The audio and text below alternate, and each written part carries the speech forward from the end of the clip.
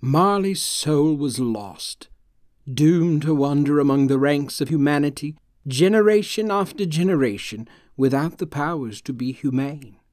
The curse of his chains was a heavy one, and there was many a time in which he found the weight of said chains to be unbearable. So this must be perfectly understood. Marley was without hope. Marley's lot was indeed a sad one. Misery was his meat, and despair was his drink. Nothing of the earth was his except for the cold fingers of the grave, and it was there that Marley would never retreat. The grave was death. Marley had no powers such as those given to other earthbound spirits. He was a wraith, a wanderer.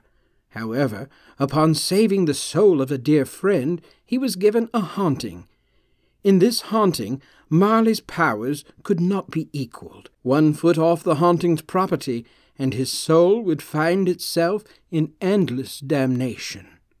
Marley found himself trapped, staring out a window into an ever changing world, a world he would never again become a part of, a world of love, laughter, sorrow, and pain he would always be a stranger to, waiting and waiting, hoping to prove him worthy.